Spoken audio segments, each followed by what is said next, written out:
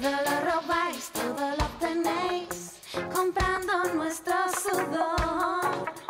Venga, buenos días. Buenos días, ¿cómo estás, Mariano? Saludos a Andoni también, a Iñaki, que nos conocemos de hace Sí. tiempo todos, y a ti, por supuesto, y a, y a toda la gente que nos está escuchando. Nada, yo tengo poco que decir, y no sé si queréis un poco contar lo que, lo que en Almería, yo ya sabéis que soy miembro de Nación Andaluza, de la Permanente Nacional, y nada, nosotros apostamos, hace ya tiempo que, por supuesto, tenemos muy claro que no vamos a participar, eso hace ya muchos años, en manifestaciones con sindicatos el 1 de mayo que no tienen un carácter de clase ni un carácter combativo, ¿no? lógicamente. Yo lo entiendo aquí en Almería, por ejemplo, ahora mismo, de aquí a un rato empezará una manifestación de comisiones UGT en la que, en la que eh, participan eh, sindicatos que se llaman mm, combativos y demás, como la CGT, en- y hablan de un bloque crítico. Yo son cosas que nunca, nunca entenderé ni, ni demás, ¿no? Yo creo que es engordar al- a esta, esta gente que ya sabemos lo que son. El 1 de mayo en Almería, eh, y supongo que en muchos sitios de Andalucía, el- los que salen en la manifestación, entre comillas, oficial de comisiones UGT, pues la mayoría son delegados sindicales, con horas sindicales, liberados, es decir, que hay muy poca participación de, de clase obrera en sí. Nosotros, como Nación Andaluza, pues apostábamos por, hemos apostado por, por apoyar a los compañeros de, y las camaradas del Sindicato Unitario de Andalucía en este 1 de mayo, porque creemos que, que es el sindicato donde se está llevando una lucha más cercana a las aspiraciones que nosotros tenemos de liberación nacional y social de, nuestra tierra y en defensa de, de las clases desposeídas ¿no? y la lucha obrera. Entonces, eh, hoy estarán algunos compañeros allí en Huelva y nosotros en Almería pues decidimos ah, eh, colaborar ayer, en una, participar en una manifestación organizada por el Sindicato Andaluz de Trabajadores de Almería con la plataforma Derecho a Techo en Níjar, en el campo de Níjar, donde la, situación pues es bastante... La foto que habéis visto antes fue, es de la manifestación de ayer, eh, en la que hubo una marcha desde dos, dos sitios, desde San Isidro a Campo Hermoso. Son dos, dos zonas donde están repletas de invernaderos, donde se está dando una explotación bestial eh, de, de todo tipo, donde la gente no tiene, está viviendo en condiciones infrahumanas, donde es casi imposible encontrar una casa de alquiler, eh, viviendo en condiciones, ya digo, terribles y sin, y sin cumplirse el convenio y demás. Eh, yo, eh, viendo la situación, eh, me, me recuerda mucho a, a- a- el hecho, por ejemplo, a lo que de- de- decía Blas Infante en el libro El Idea Andaluz. En 1914 ya hablaba de, de la situación de los jornaleros andaluces en aquellos años que estaban en las plazas esperando que el señorito pasara, que le miraba casi el diente a ver que le interesaba este sí, este no, y en unas condiciones de pobreza, de... En fin, eso se está dando eh, hoy en día en, algunos sitios de Andalucía y concretamente en, nuestro, en nuestros campos de, eh, de Níjar, ¿no? Y de- del Poniente y de, de Almería. Eh, las condiciones de la clase trabajadora en Almería son terribles en muchos aspectos. Ya no habla solamente de los jornaleros inmigrantes que puedan ser la- los que estén en peor situación, la del manipulado, las miles de, trabajadoras que hay en el manipulado, donde no se les permite en muchos casos ni, ni, ir, al servicio, se le controla absolutamente todo en unas condiciones terribles. Los cumplimientos de los convenios. Estamos hablando, perdona que te interrumpa, Mariano, estamos hablando, cuando he dicho no se les permiten ir al servicio, no del siglo XVIII, estamos hablando del siglo XXI, hoy, hoy, en España, en Andalucía, en Almería. Y te tengo que decir que yo he paseado por esos pueblos, por toda Andalucía, me he recorrido toda Andalucía por motivos también de, trabajo y algunas ayudas en trabajo que hice algún compañero que tenía allí un trabajo editorial. Y te puedo decir que cuando recorrí los institutos de esa zona, que sabes que institutos y hospitales es donde se ve la realidad. Y fue terrible, fue un shock para mí. Y cuando recorres desde la zona de Almería hacia la costa, hacia la costa, en la misma sierra, te encuentras como aldeas de, de chozas, de chabolas hechas con cuatro ladrillos Asentamientos le llamamos. asentamientos con cuatro ladrillos y plásticos, no en la zona de los plásticos abajo, están como escondidos en una montaña, que supongo que allí los recogen y se los llevan para que no se les vea mucho, y en esa zona que es casi zona, cerca está la zona protegida de, de Almería, de, Cabo, sí, parque, el Parque Natural de Cabo Gata. de, de Cabo de Gata y todo aquello. Bueno, pues en esa sierra, tú lo conocerás también perfectamente, eh, eh, si alguien se paseara por allí, lo mostrara en las televisiones, estas que dicen que son rojas y de izquierda aquí, o en- eh, eh, sería un shock, un trauma para toda España ver cómo viven y qué condiciones viven estas personas en pleno siglo XXI en la España de ahora. Sí. Por eso te digo que, que, que es que eh, leyendo a Blas Infante, el libro El Inde Andaluz, es que eh, te voy a leer textualmente lo que decía. Yo tengo la cabeza y lo tengo anotado para decirlo. Decía, yo tengo clavada en la conciencia desde mi infancia la visión sombría del jornalero. Yo he visto pasear su hambre por las calles del pueblo, confundiendo su agonía con la agonía triste de las tardes invernales. El texto es muy largo, pero es, maravilloso. Es, además, eh, ¿Cómo de largo? Lo que, lo que es Blas Infante, como, como Carlos Marx, como Lenin, son gente que antes de incluso de, de, tener una ideología se, se eh, sienten el dolor de la gente, sienten el dolor de... Y eso es fundamental, eh, y, en Blas Infante pasaba igual. Y, y, hoy en día pues nos está pasando la, eh, que es, esa, ese dolor que tenemos lo tenemos que convertir en reverdía, convertir en organización, en lucha, porque todo esto tiene, tiene que cambiar. Eh, ya no es, como te decía, no solo, y termino si, tenéis prisa, no es solo. No, no, no, no, no, no, no, no, no hay. De momento, de momento no hay prisa, puedes incluso quedarte aquí en un diálogo con nosotros un rato, con Iñaki, conmigo, eh, porque em, todavía estamos, sabes, en los momentos de espera, pero da igual. En cualquier momento durante todo el día de hoy que creas entrar, comentar o añadir o apostillar algo, entras, tú sabes que esta es tu casa también. Adelante. Gracias. No, ya está, te decía que no solamente ya la, en Almería o en Andalucía la situación de la clase jornalera, eh, sino, bueno, pues por ejemplo, la gente que trabaja en la hostelería, eh, en el comercio, son también horarios mm, terribles, eh, no se pagan horas extras, en fin, unas condiciones también bastante. Y bueno, es que eh, la realidad de Andalucía, además, eh, es que encima es peor que la de cualquier sitio. Las condiciones son más o menos las mismas que el resto de, del Estado y de tal, porque estamos, en, eh, por desgracia, en la Unión Europea, tenemos Pero la situación de Andalucía es todavía añadida peor. Es decir, estamos en los índices peores de en todos los aspectos, en cuanto a paro juvenil, en cuanto a paro en, general, en cuanto a, a, todo el índice de pobreza, el índice de vida, en fin, las condiciones, porque tenemos una situación neocolonial de siempre. Andalucía ha quedado para, lo que es, pues para esto, por ejemplo, para, invernaderos, para surtir de productos tempranos al resto de Europa, a los ricos de Europa, a, todo mandado por los grandes canales de distribución, por los grandes aseguradoras, el campo igual, cada vez... Eh, es necesaria, por ejemplo, una reforma agraria. Nadie habla ya de una reforma agraria. Hablamos, la nación andaluza, hablamos, ya no, pero nadie habla ya de una reforma agraria. Claro que es necesaria una reforma agraria.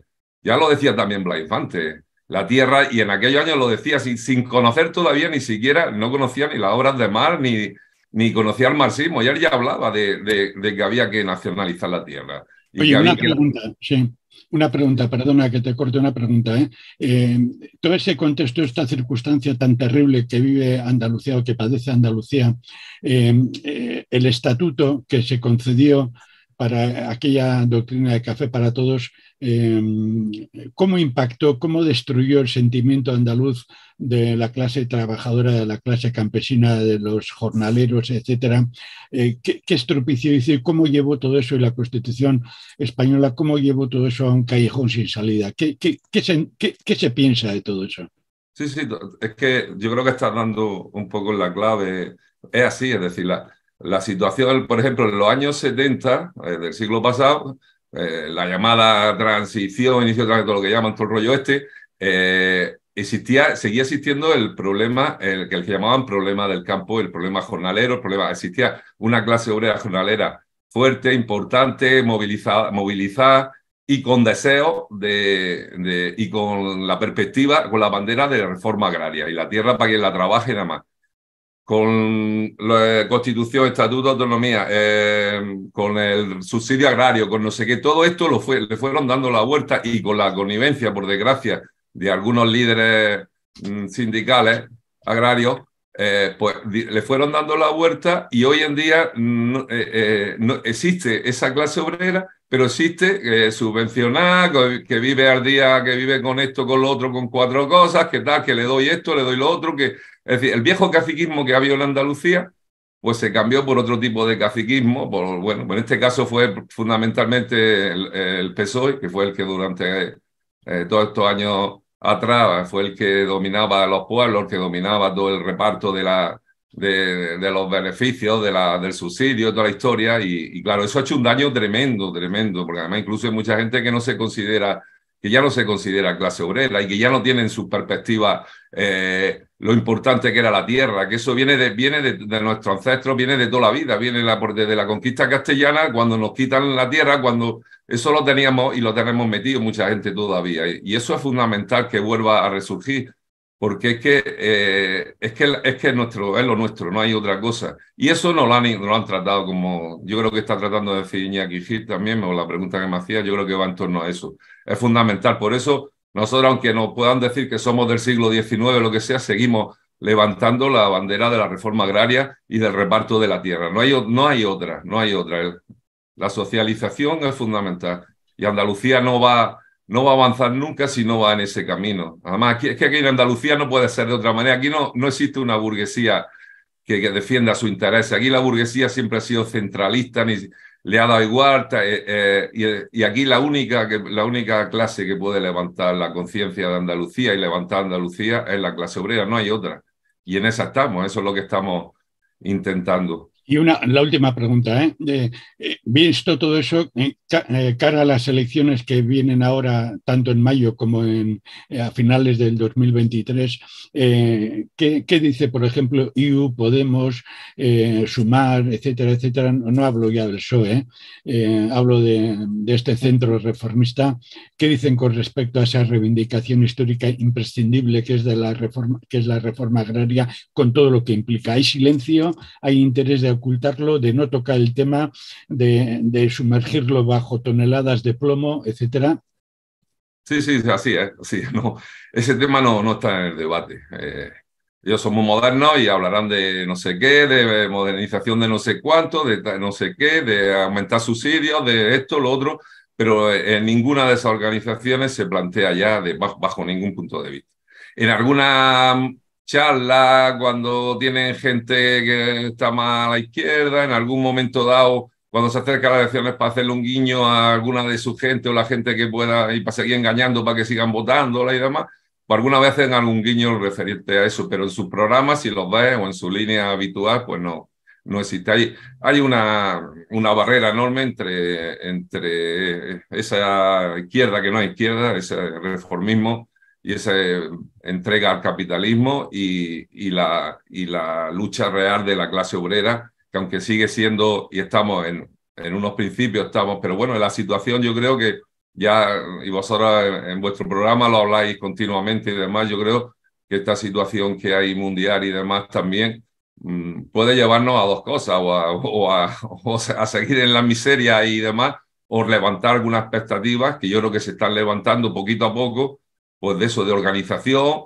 de combate, de ver que no hay otra alternativa, que la, gente, por ejemplo, aquí eh, van a votar, siguen votando, por desgracia, a opciones reformistas, pero cada vez menos y cada vez con menos ganas, y cada vez ya casi... Entonces, bueno, yo creo que es un momento en el que quienes nos importa un pito los votos de la manera que, que, son en la democracia burguesa y que solamente a veces lo podemos utilizar para cambiar nada más, pero no para para que, para, no para cambiar, sino para, pues, pues porque el momento de lucha de clases te lleve a que sea importante participar alguna vez o no, pero fundamentalmente hay que, hay que hacer pedagogía haciendo ver que la democracia burguesa no vale para nada y concretamente aquí en Andalucía aún menos, no nos vale para nada, ni la Unión Europea, ni las instituciones del Estado español, ni, ni el Estatuto de Autonomía, que es un estatuto de la dependencia, porque no nos permite... Eh, ni tener un marco de relaciones laborales propio, porque la situación de la, de la clase obrera andaluza es distinta a la del resto de, en muchos aspectos. Y necesitamos un, por ejemplo, el tema de los invernaderos. Eh, los invernaderos están diseminados por todo. Es imposible, casi imposible, tener un control de inspecciones sobre el tema. Y aparte que, que el, gobierno de Madrid no pone inspecciones suficientes para ver el cumplimiento de... Y, y, necesitaríamos eso, una, una herramienta que nos permita pues para mantener unas condiciones laborales en condiciones y para avanzar hacia... Luego hay temas, perdona, hay temas eh, que es que son curiosos. Hablaba de, de, esto de la, Plaza de los Pueblos, cómo todavía se siguen poniendo los jornaleros y inmigrantes y cómo pasa el, dueño del invernadero de la ESA a llevárselo, a ver, unos días trabajan, otros no, cinco no, no le dan los certificados de empadronamiento, tienen, bueno, situaciones terribles.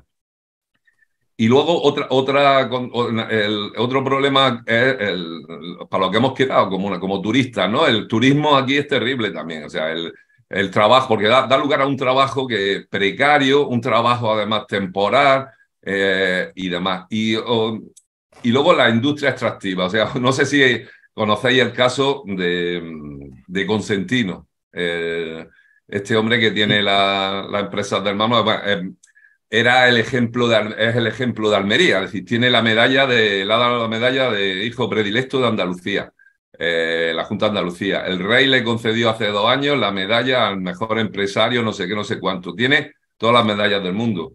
Un empresario que, que, está, que está causando centenares, centenares de, de, de, de personas que, con enfermedades por la silicosis, eh, ha tenido ya juicio en lo que incluso en que la justicia burguesa lo ha condenado, está pagando eh, por Bajini mm, miles de euros a gente para que no saquen los temas, para que no lo denuncie y demás. Ese, esa, es el empresariado que hay, esa, esas son las condiciones que hay. Eh, y realmente no, es que no son asesinatos laborales, que eso, es, que, es que hay que decirlo claramente es que eh, no importa, eh, hemos llegado, en lo que hablamos antes, hemos llegado a una situación que estamos cercanos al siglo no sé qué, porque es que las condiciones son tremendas, eh, tremendas y, y, en fin, y el descaro con el que actúan es terrible. Oye, perdona, es que no me puedo callar. Una última pregunta. Cuando se haga la reforma agraria y se devuelva al pueblo lo que es del pueblo, que es la tierra, me imagino que las bases yanquis de Rota Morón y otras tendrán que irse eh, a, vete a saber qué parte del universo, ¿no?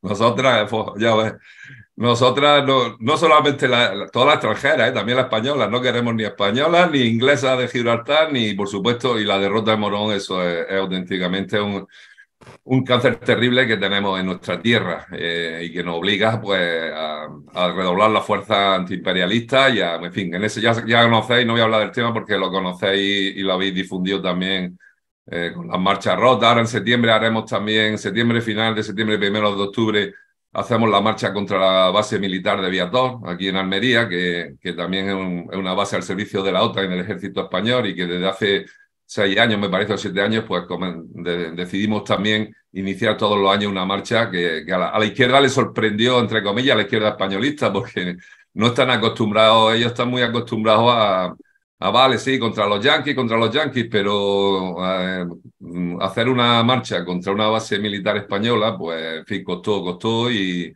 que hacer comprender que, que, son iguales y que están jodidas para Andalucía y para nosotros tener una base. Además, es que está además, incluso la de Viator está al servicio de la OTAN. O sea, que todo, todo el, ejército español está al servicio de la OTAN y todos dependemos. O sea, que, que, que si estás luchando contra la base rota y marón, tienes que luchar contra. Y es vergonzoso, es vergonzoso lo que ha pasado. Es decir, que, que por ejemplo, cuando eh, quisieron poner en Córdoba la base, que quisieron no, que la van a poner, la, la base logística del ejército español en Córdoba, que hubo hostia entre los alcaldes de Jaén, de los políticos de Jaén con, Córdoba, porque querían los de Jaén que se pusieran Jaén y los de Córdoba. Me parece, bueno, hasta ahí lo entiendo, que la, burguesía le interesa, pero que haya, o sea, es que no se, quitado creo que Nación Andaluza, eh, el SUA y el PCP, creo, nadie, nadie se posicionó en contra de, de la base, de que se... Eh, al contrario, bueno, los lo, lo llamados anticapitalistas, los llamados Adelante Andalucía, los del Podemos, los Izquierda Unida, contentos de que va, a dar no sé cuántos trabajos en, en Córdoba. Mm. O sea, una máquina de, de, seguir matando, de seguir, además que es falso. Hemos demostrado mm, por activa y por pasiva que es mentira, ni siquiera crea puestos de trabajo. Es que, es que lo hemos demostrado con datos estadísticos de los pueblos que están alrededor de las bases y cómo funcionan. Entonces,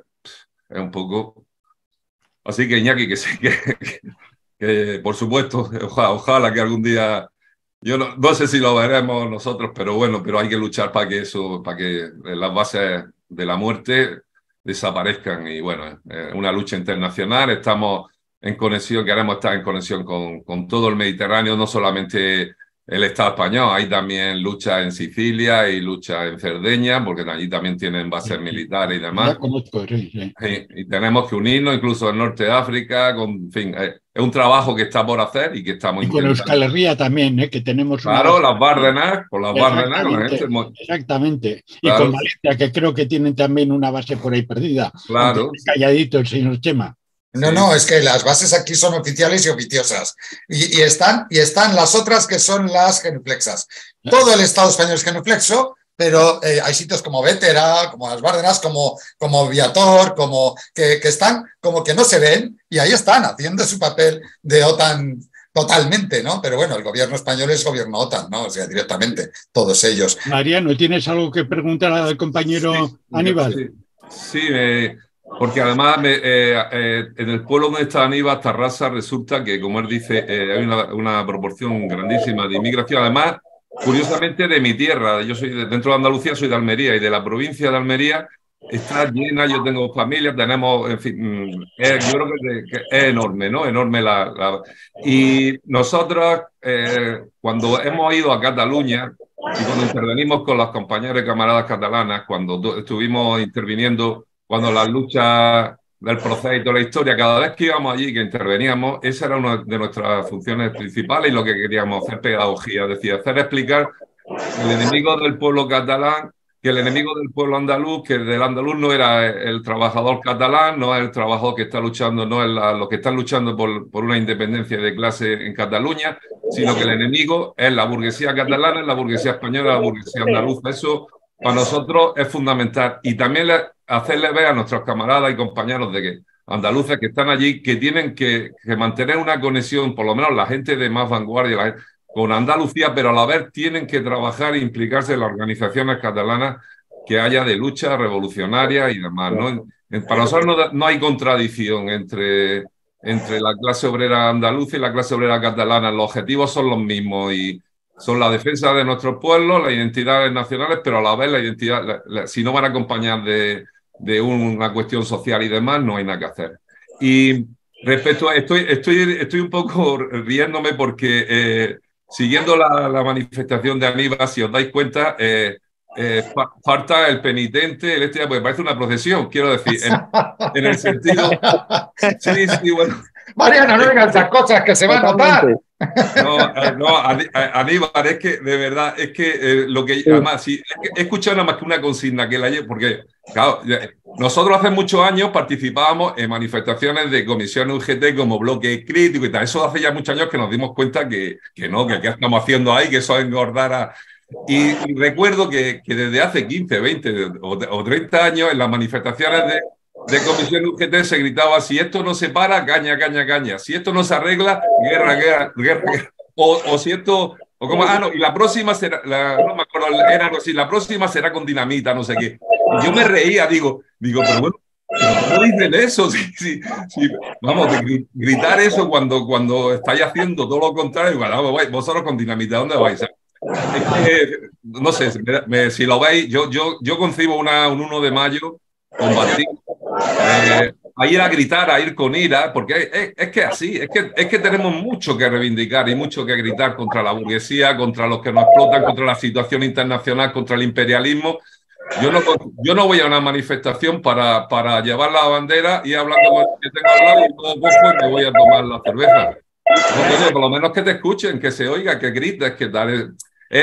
Y otra manera de ver las cosas. Yo, desde luego, no, no, este tipo de más, que, que, que no pasa, es que en todos lados, y aquí en Andalucía se dan también. Por eso nosotros, por ejemplo, hoy no participamos. Ayer estuvimos en, en la manifestación, en la marcha que se hizo en San Isidro con los jornaleros inmigrantes. Esta tarde estaremos en otra manifestación que hay en el Ejido, pero no vamos a la que voy esta mañana, donde va a comisiones UGT y además de GT también, que es curioso también, aquí en Andalucía. O sea, que...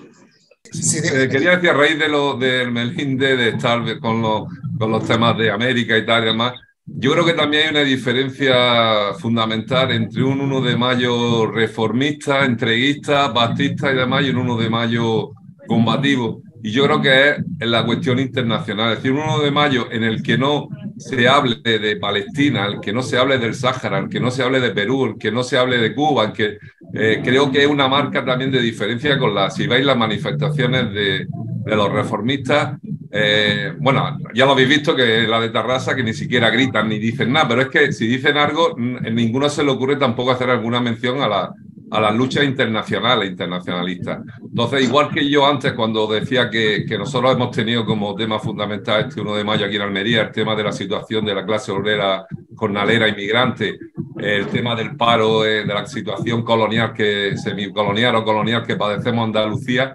Eh, otro tema fundamental, ayer lo gritábamos en la manifestación del campo de Nija y hoy esta, tarde la gritaremos en la manifestación de, de, elegido, es eh, la solidaridad con la lucha del pueblo palestino, la solidaridad con la lucha del pueblo saharaui y demás. quiero decir que para nosotras, hablo en este caso de mi organización Nación Andaluza, es fundamental y eso es una diferencia entre un 1 de mayo reformista y un 1 de mayo realmente que aspire a, a, ser revolucionario y a transformar la sociedad. No podemos. Somos, nosotros, por ejemplo, somos independentistas andaluces, y a, pero a la vez somos internacionalistas y para eso nosotros es fundamental. Una, un pie sin el otro no tiene ningún sentido. No quiero servir a mi opresor.